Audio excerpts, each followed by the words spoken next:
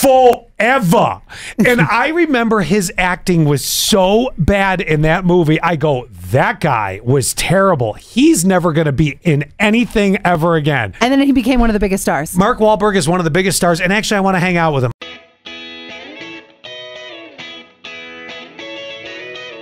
Hello, sir. Hello, ma'am, and welcome to the Scott and Ally Not for Air podcast. Uh, everything going well today? Yes, I am now in my horror movie era.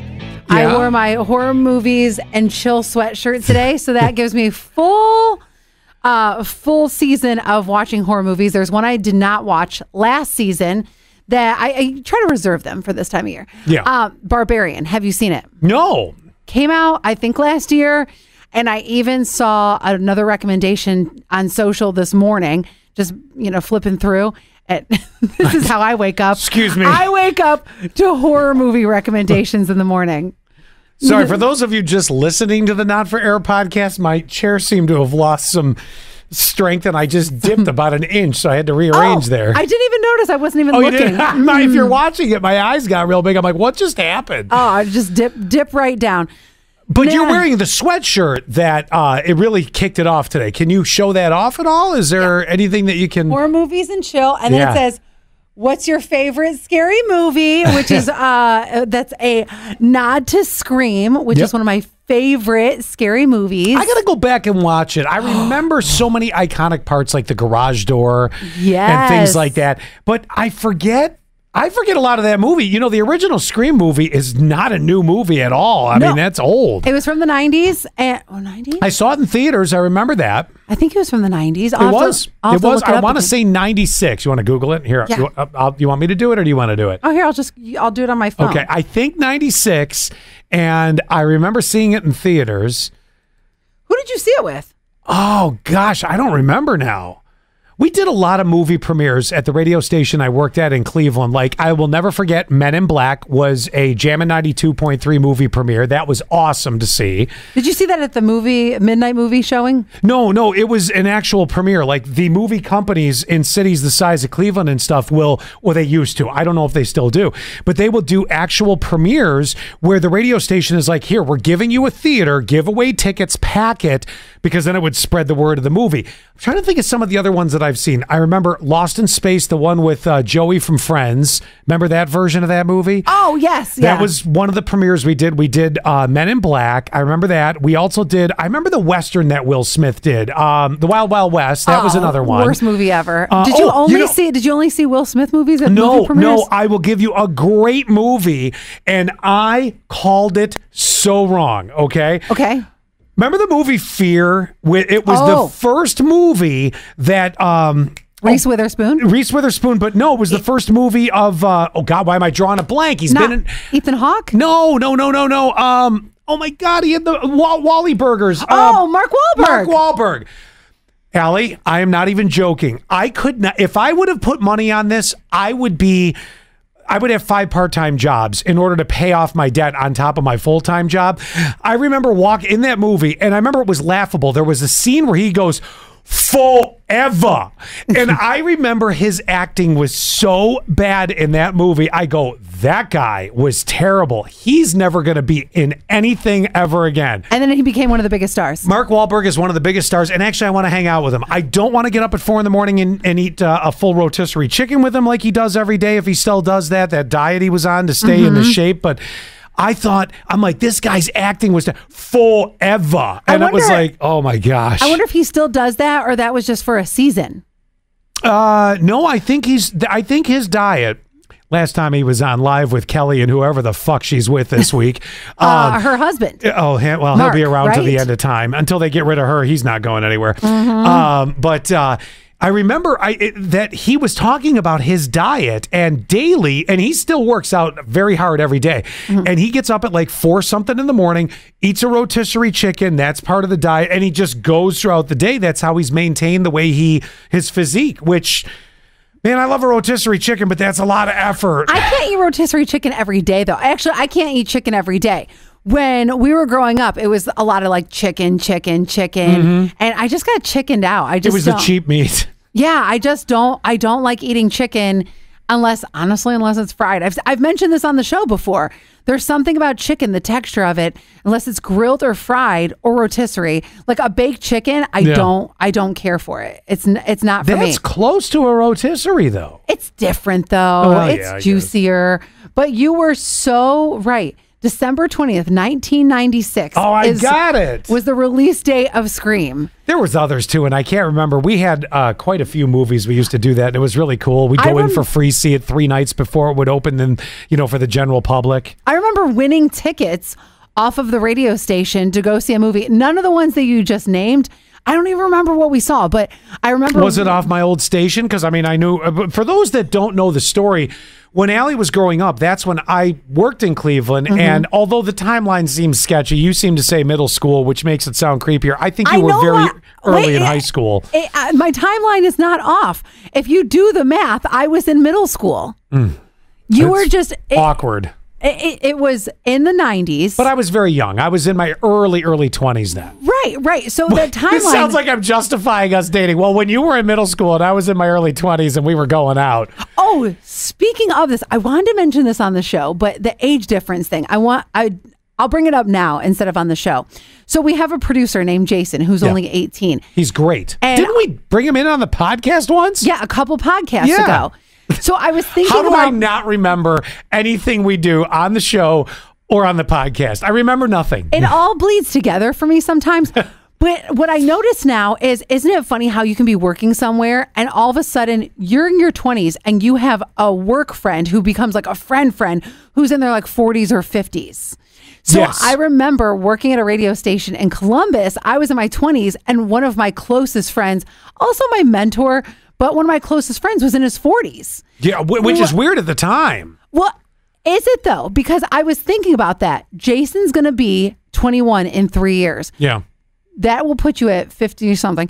Um, would that be would that be weird for you to have a drink with Jason Well, and like do- hang and hang out with him? I do jokingly call him my son because uh, I, I just I love his work ethic and all that stuff. And it's like one of these people you're sitting there going, boy, if there's anybody you want to make your own, Yeah. you know, he's the kid. So I, I that's where the joke has come from. With uh, he's my son, so shouldn't I, as dad, take him out to uh, have his first beer? I think so, but I don't honestly, I don't know if he drinks. I don't know if his parents drink. I don't know if his parents like my parents would never ever take me out for my 21st birthday drink. My 21st birthday drink, I'll never forget it and I think we I think we've talked about this on the show too. I was in the middle of finals at school in Yeah. college. And so I took some finals, then went out for a little bit, not long at all. And then me and uh I was one of the first ones to turn 21. So I think it was like me and like one or two friends went out for a drink or two. And then I had to go back and to and study for my next final, which was the next morning. Wow. Right. But my mom and dad, they would never take me out for my 21st drink. I think that becomes more and more popular now for parents to go out with their kids. I I would have done. I think. Okay, here's the way I think it would have gone for me. Now, my parents. Uh, I was. Was I living at home by the time I was 21? Wait a minute. Hold on. I got to do. I no. I was living at home. All right. So my situation was different. So my brother Gary, uh, who's uh, a bit older than I am, but when I say a bit, a couple decades almost. Yeah, yeah. Um, well, you were adopted, not were you are adopted. Yes, yeah. So the the big age difference really does make sense. So I think we would have done something. The funny part about it was We grow- as the parents or Gary. No, my brother and I. I think my dad might have, but here's where mine was different. So, being the fact growing up in Buffalo, uh, first of all, as we know, New York State's a 21 plus to drink, but Canada, which was moments across the border, uh-huh. is 18 or 19, one of the two. Something like well, that. at any rate, I wanted to learn how to do a lot of different aspects of of this business and not specifically tied to this business. I had done a lot of nightclub work for a long time in my younger years in nightclubs in Canada. And the reason why is it was 25 minutes from my house to get over the border. It was mm-hmm. very easy way before like 9/11 and all that hit where Well, actually, the border's gotten a little bit easier again now, but Oh, way yeah. back then, I mean, it was like you did not have to show all sorts of ID and stuff. It's like You hey, just where sneezed across the border. Yeah, where are you from? Where are you going? I got to know a lot of the border agents because I kept going across the same bridge. I'm like, oh, I'm going to DJ at the Igloo. That was the name of the, The bar Igloo. in Canada, mind you, Uh, and it was a downstairs bar, like in a basement, so that was Uh-huh. like perfect, right?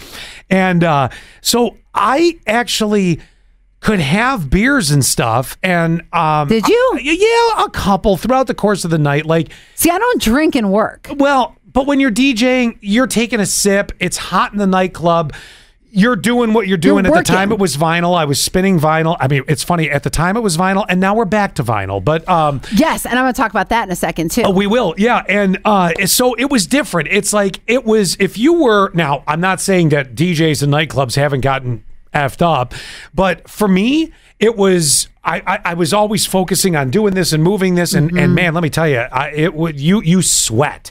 So You were two to three beers in the course of a five hour shift to uh, DJ.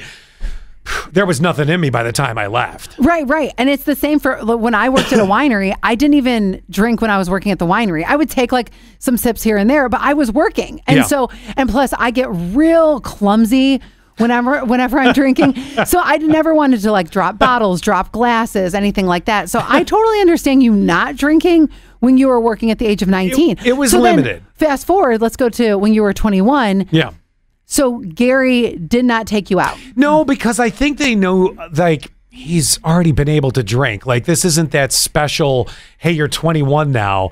We're going to take you out for your first Oh. beer or something like that. Now, mind you, I didn't grow up in a house of drinkers. There was, well, first of all, there was no one in my family that had any alcohol issues whatsoever. Uh, in my immediate family, I think Yeah. there might have been an uncle. There's always an uncle. There's an uncle. Uh, but it wasn't any blood relation or anything. Well, I guess I'm really no blood relation to anybody in my family when you think about it. But no, I never was raised like the only time I saw my parents drink would be socially in the sense they used to do this thing called club. Mm-hmm. That was their name of it. And I'll never forget. I swear I've mentioned this on another podcast or maybe on the show. Once again, I don't remember. So my All parents together. They had the couples. They had all the couples. So they had the Geeters, the Plows, the, The Edgingtons, and the snaps. Those that was the core group, and they would rotate. Uh, like once a month, they would rotate where they would go as couples. All the couples would come together: the plows, the snaps, the Geeters, the Edgingtons, you know, all of them, and of course my parents. And they would have like a Saturday night or a Friday night. I think it was a Saturday night. I think it was Saturday. No, it was fr- uh, whatever. And it would always be. And it was back in the day. And it was so cool. You would you would think it was like a Mad Men thing. They would drink their highballs Oh, yeah. and they would uh, all sit around in the living room and all talk about stuff and this and that and have a great time.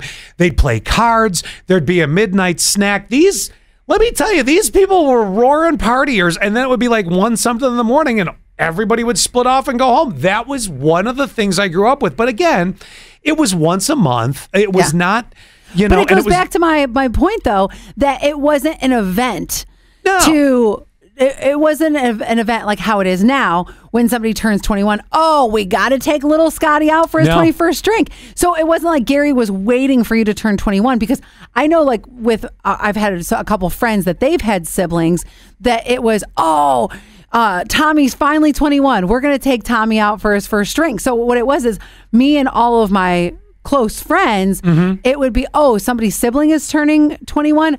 Oh, we got to take them out for their first drink. So it wasn't like that. It sounds like you and Gary. Gary was already in his like adult raising kids age Oh, at he that had point kids too. by the time I turned 21. Uh, my it's it's really funny the the way that the family separates out. So I'm the youngest of my two brothers, Gary and Jim.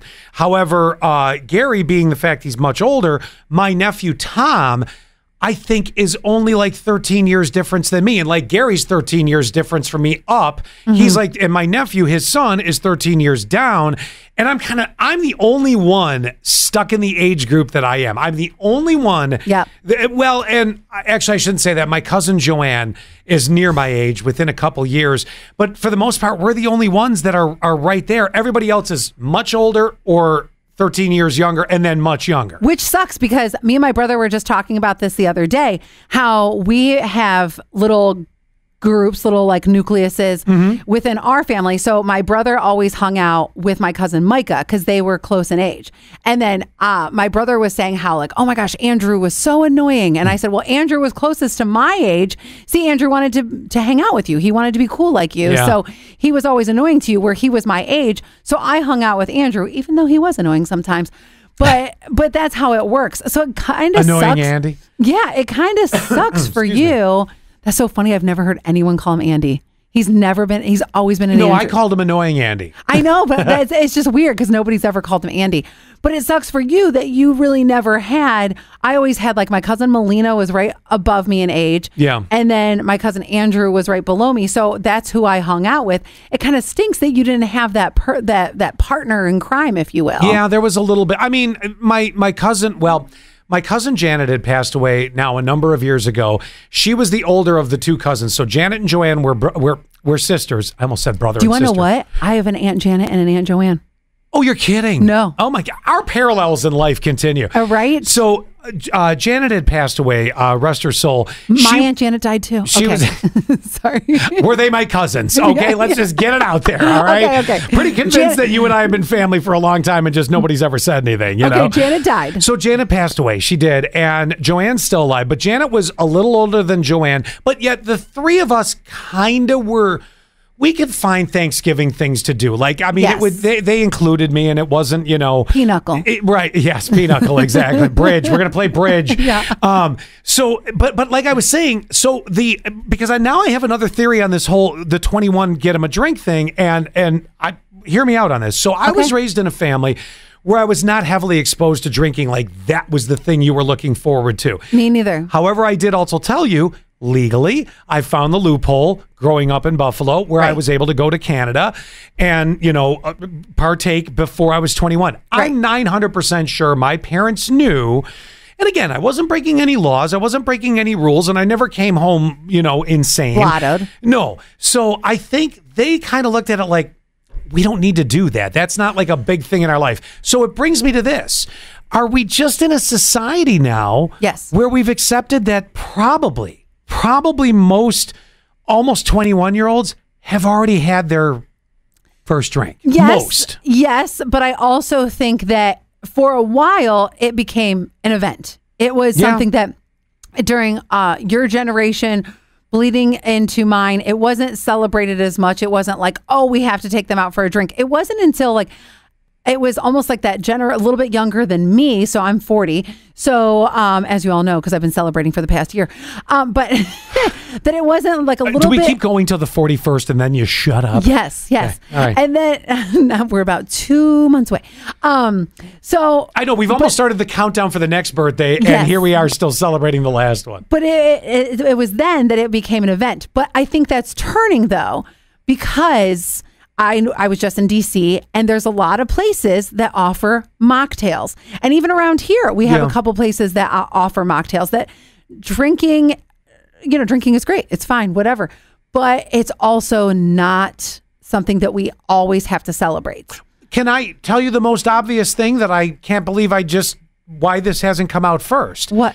I have a 22 year old daughter, Oh yeah. and uh, when she was 21, she really doesn't. She doesn't have an interest in it. She really does not like alcohol. Good for her. Good. I mean, does anybody really like the taste when it first comes to their lips? Well. no. I remember the first time I I could name some. Well, I, I remember smelling beer for the first time, and I was like, oh, this oh, is beer is different. I'm talking like if you're doing, uh, well, a highball, if you're doing a whiskey and ginger or something Well, like whiskey that. Whiskey and ginger is not what I'm doing when I'm trying it for the first time at the age of 17, 18, 19 years old. No, but hear me out on this. Would that first drink now be different than going out for your first beer? Now, would it be if you're going to do it, you're going to go out and do a nicer drink than just, hey, let's get you your first Miller Lite?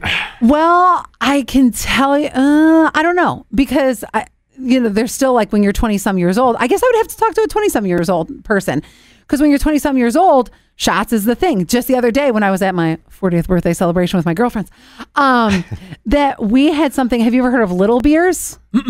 Little Beers is it's a little tiny. Uh, oh, it's called like Licor 43 or something. Okay. You put that in the shot glass and you froth oh god, it's heavy whipping cream, and I think you froth it in, and it looks like a little beer, but it's actually liquor. Huh. So it's got a little head on it. And you take the shot like that. That's about as all, that's all I can do. Now my twenties doing shots was. Uh, I can't do shots. Yeah, no, me Never. neither. I've The- never been a even- shot person. even I don't like it. No, even now, like somebody is like, "Oh, do you want to?" Everybody, everybody is doing a shot at whatever we're Yep. celebrating. I can't um, tell you how many times, and I've gotten good at diverting doing the shot. Oh, I don't And divert it. I just say no. I Yeah. don't do shots, I, and I, I make that face. So I'm like, no, not my thing. Gross. Get it away from me. I don't need to get messed up that quick. Really, I don't need to get messed up at all, let alone that quick. Uh, exactly, exactly. But my other point to this is you were saying like your daughter who is 22 now and not into drinking. Mm. And I'm not saying this is your daughter at all. I'm just saying as a generational thing, they're into smoking. You know, they're into like sm- uh, smoking weed. And yes, but she lives in Ohio, not legal there like the sticker stores in New York. So I'm not worried about it. no, no, but I th- I am just saying a generational thing. I think more of them smoke than drink anyway. but you're specifically saying smoking weed. Yeah, Okay. yeah, yeah. I think that that so there's really Not not like a, it's a resurgence of camels. Right. So I don't think that there is a celebration of smoking weed. And maybe there is. Maybe a lot of like, times you celebrate smoking weed, it's pretty laid back. right, right. You're not going out for, I wonder how bars are doing. Are they suffering or is it because they're, they're charging more? Because we were in DC. Now, I, uh, I respectfully don't drink in front of my parents.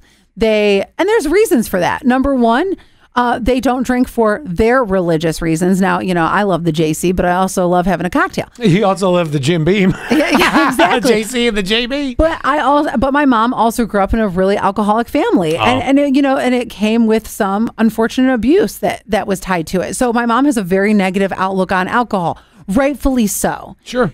But I know that after we left my brother's wedding this past weekend, that we went back to the hotel, we stopped at the bar, we got a drink, Mm-hmm. a drink, and it cost us for one drink for the both of us with tip about fifty bucks. So I well, think part of that was DC too. Now you got to remember, DC is one of the most expensive cities anywhere. Mm-hmm.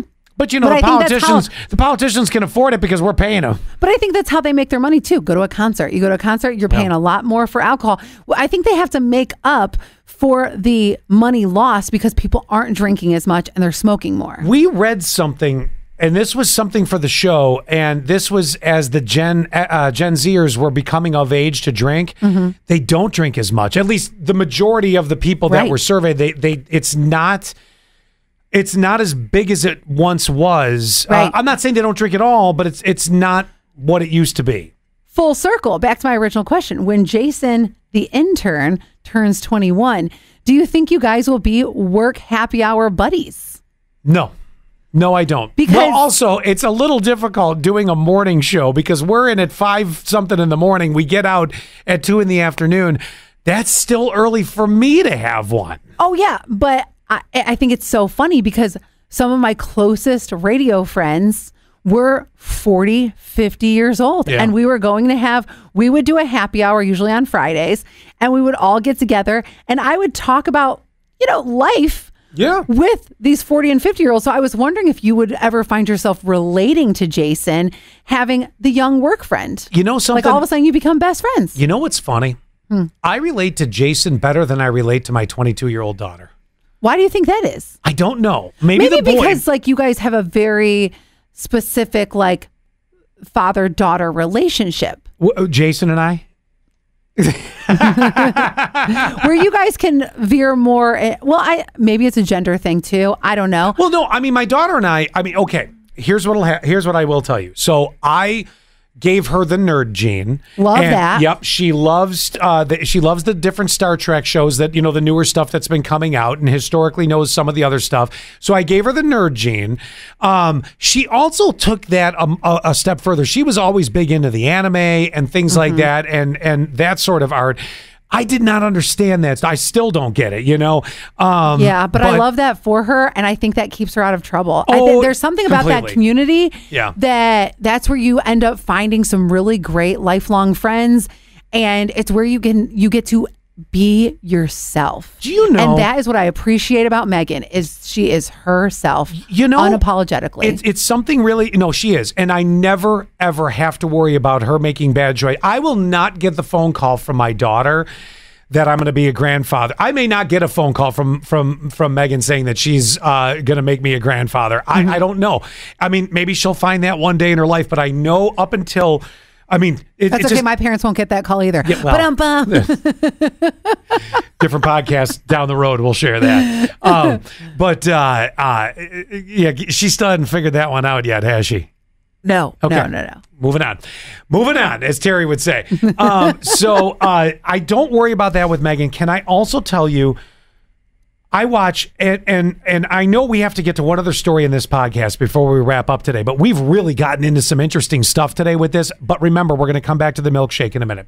So um, the thing is, I'm beginning to wonder if I'm going to have to worry about any of my children and getting into well frankly i don't want them to be i was not wild but i had wild spells and looking back on it you know like i look at i look at gavin and i think to myself if he follows on this path i don't think i'm going to have to worry about him you know getting into too much trouble i might i might have to keep an eye on a couple little things but i don't see that happening and then i think of lydia mm-hmm. and i'm like she's very boss, but she's not one of these girls that wants to be older than she is right now. She wants to be a bit in command.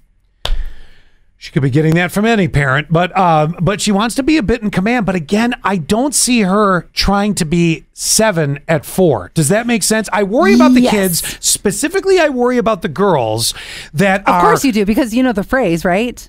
Which one? The phrase that says when you have a son, you only have to worry about one dick. When you have daughters, you have to worry about all of them. That's true. Um, but uh, but I I look at it. That's funny. I look at it like uh, like this. I worry about girls that are, let's say, 10 and want to be 16 already, or, you know, they're eight or nine and they're way above. It's like, I know some kids just mentally mature quicker or really want to experiment more in that, but I worry about that. Like, that would be an interesting thing. Like, did you have a daughter that at, let's say, 10 years old, really wanted to be that 16 year old, you know, Yes. and was dressing that way. And, and, and believe me, I know I'm, I'm not, look, I'm not naive. I'm not a prude, Can't keep her young forever, mm, but but you can for a while. And I'm wondering, Yes. like, I, I don't know why it is that I, that so far, and I'm hoping it continues, that I've raised the kids, they are not rushing to get older. I I do love I'm that. rushing to get And them I- the fuck out of my house. No, I'm kidding. I'm and kidding. I love that she is a little bossy, and here's why. That means that she is the leader.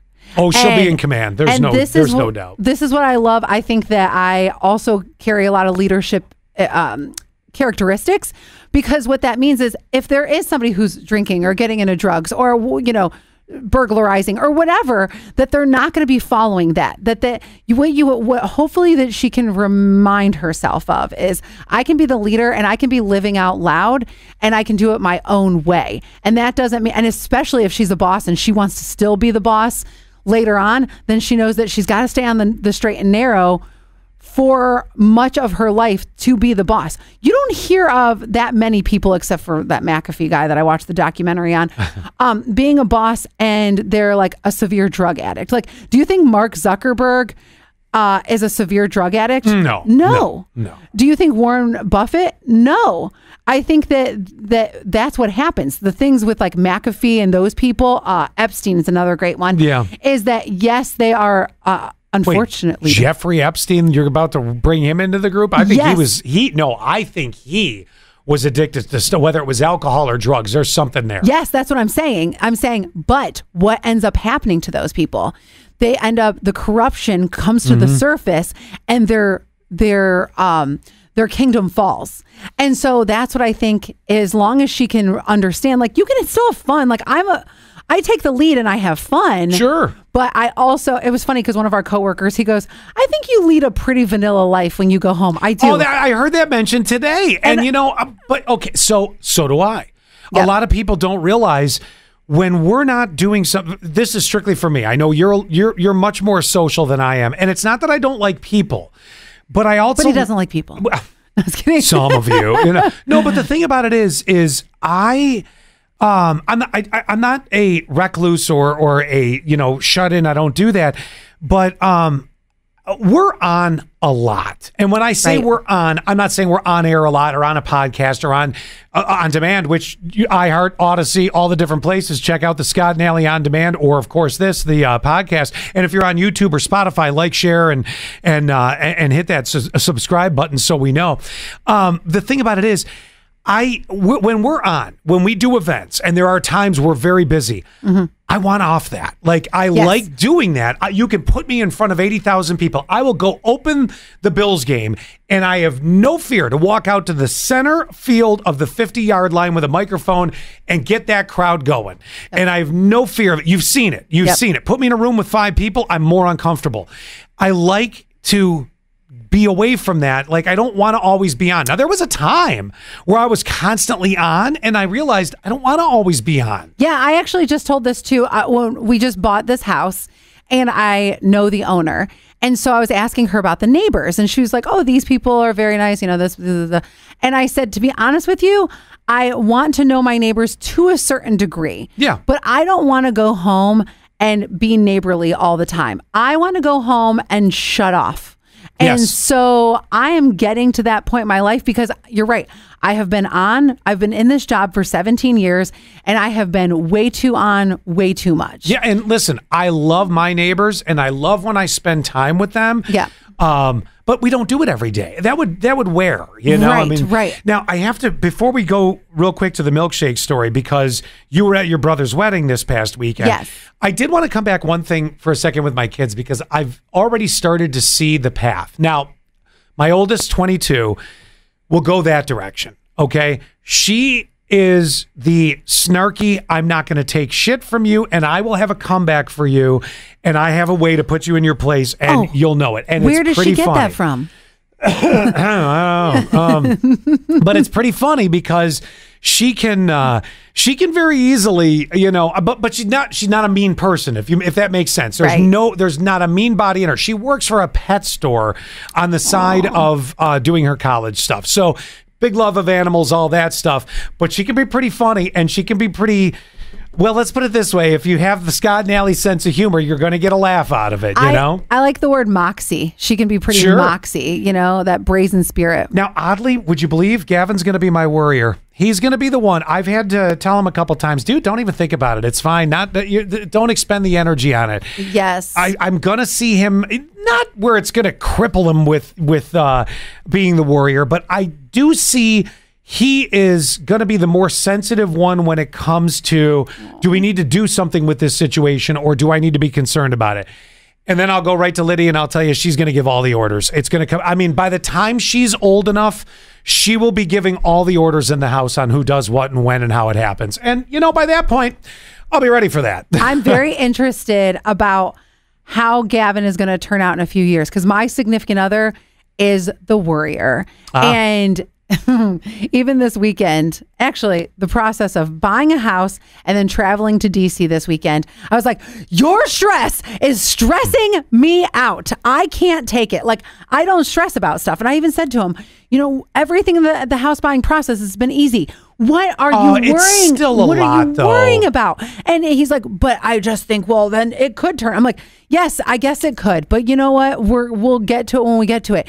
You're worrying about something that is not even in existence. So I worry about Gavin worrying so much because Well, it's not constant, but he's the one that I've seen a couple times make comments about things, and I'm like, you don't need to worry about it, dude. It's okay. Or I'll mm. explain to him why he doesn't need to be as concerned with Oh. it. You know, like things do work out. Now, I'm certainly not as loosey goosey as you when it comes to, oh, everything's fine. I would like to say that I wish you and Zach were slightly more in the middle because Right. you're way over here. Yep. Way over. Well, you can't see me on the camera. She's going that way. And it's like, you know, there's nothing to worry about. It's just flames shooting out of the ceiling. Don't Well, think about it. Did I tell you about the fight that we got into the other day when it came to I had to get the cabinets painted by the time our contractor was coming in from out of town. Well, that makes sense. There probably is a plan. and I was trying to paint them, and, and I was I, after work. I was working on the house, and he was like, "But it's got to get done." And blah blah blah. I said, "It's going to get done." He goes, "Well, you're just too lackadaisical about this." I said, "No, I'm not. I I." and did did we talk about this? I don't think so. Oh, okay. I But I'm said- enjoying every second of I it. said, "Oh my gosh, you are like Scott Free. You are driving me crazy because You can't get away from Scott us. is a five alarm fire when things are happening. When and other people, you've even said this to me. You're like, you know, but this and this and this, and I'm like, okay, I, I'm, Somebody's got to be thinking the 10 steps ahead. I am, but I'm just not living it out loud. I'm thinking it. It's inside. I am okay. Yes, I got to get the cabinets painted. I'm going to do that, and I the timeline's up here. I I'm not freaking out about it. Were you and him?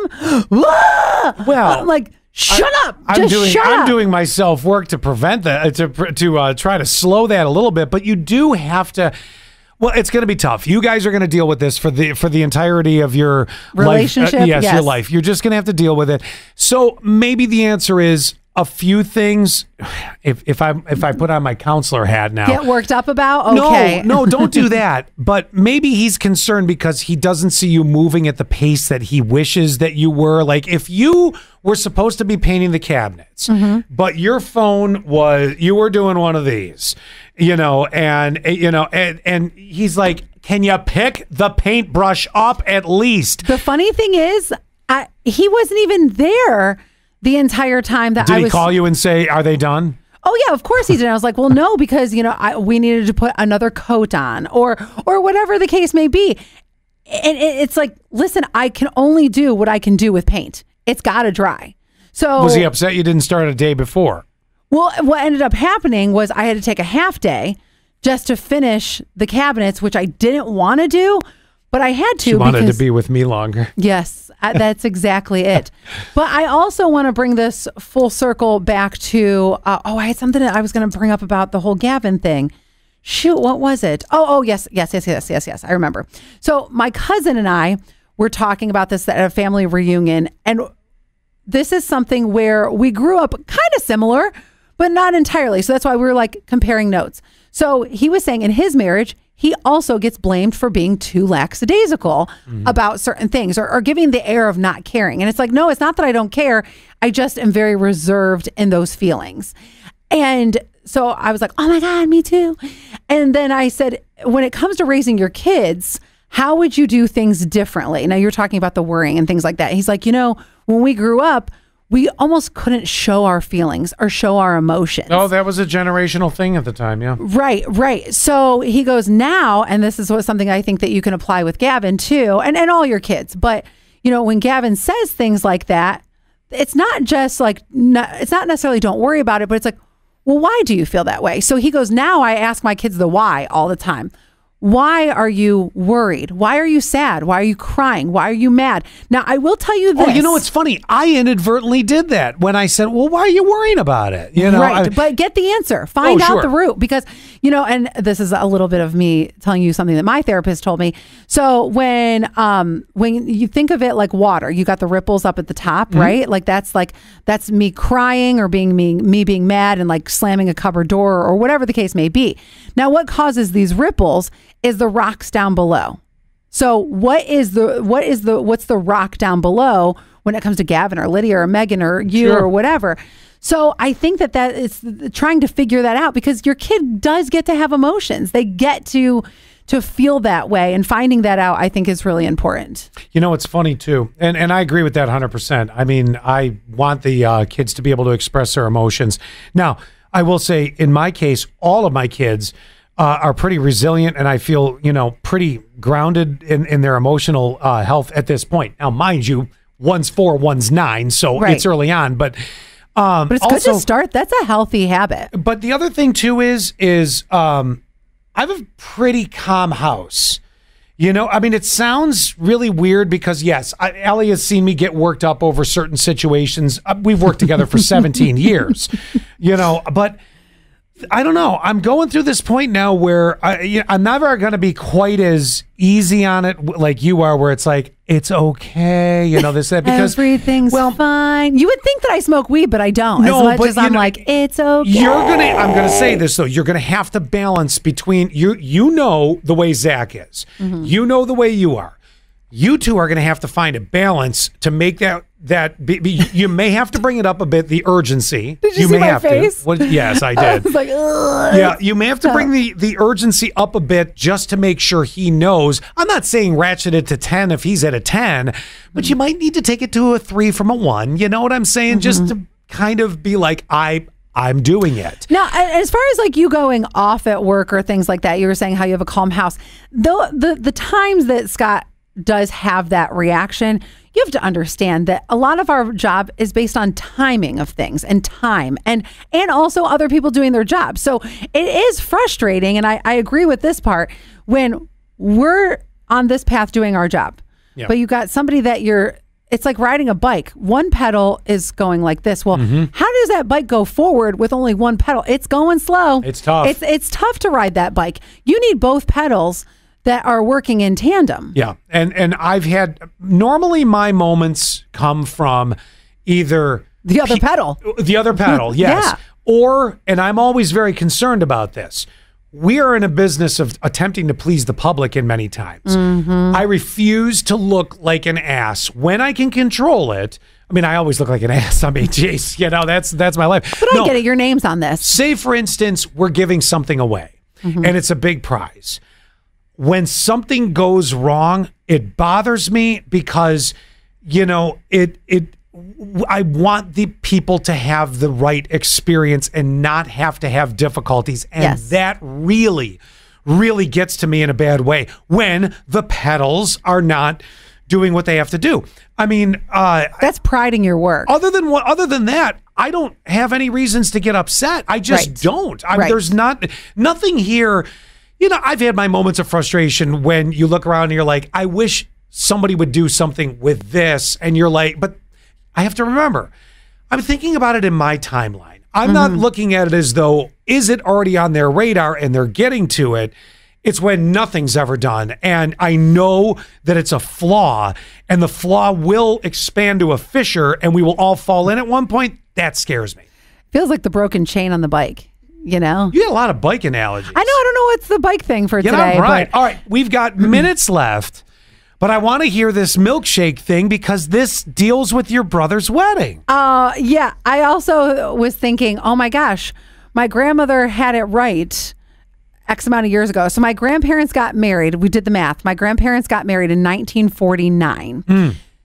So, uh, you and know they were young, weren't they? They were 17 years old. They were still in high school. Wow. And you know that song, How very 1949. all right, all right. Uh, you know that song, "My Milkshake Brings All the Boys to the Yard."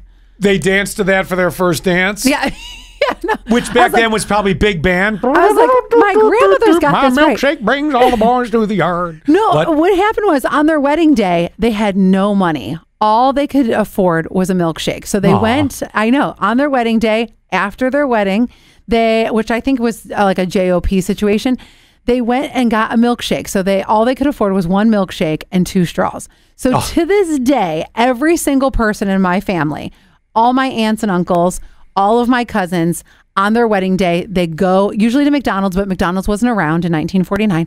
Um, they usually will go to McDonald's and they will go get a milkshake and two straws. It is the family Oh, tradition. is so cute. My brother did it this past weekend for his wedding. I know he actually this was the second time doing it, but anyway, so Maybe he shouldn't tell his new wife this is the second time I've done that. right. But it, what the funny part was is that No, we're not sharing any traditions. Nothing. They were in downtown DC, and my dad was like, "Yeah, we're parked illegally," and so. So my dad's like, hurry, go get the milkshake, go get the milkshake. And we see how Mark is, just like me and Zach. And so, so they're like rushing to get the milkshake and get the pictures and do everything. While my dad's like, I'm gonna get a ticket. I'd be running to the car with your dad. Come on, Mark, we gotta get out of here. exactly. Oh my god. I'll gosh. share a shake with you on the way. So my mom stayed in the car. I was like, "What? You stayed in the car? Like you have to be there for the tradition?"